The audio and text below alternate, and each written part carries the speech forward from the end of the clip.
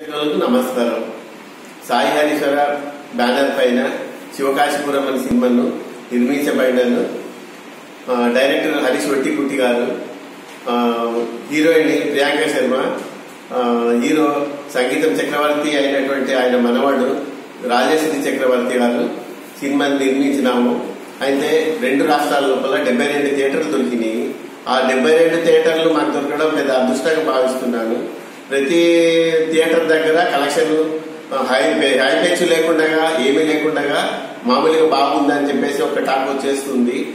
ఇక ప్రేక్షకులు మో టాక్ వల్ల ఇక ముందుకు వెళ్ళాల్సింది అందరు మీరు అందరు ప్రేక్షకులంతా మాకు సహకరించి ప్రతి ఒక్కరు మౌత్ టాక్తో మీరు ఆశీర్వాదిస్తే మేము మళ్ళీ సెకండ్ సినిమా తీయటానికి మేము కృషి చేయగలుగుతున్నాము. అన్-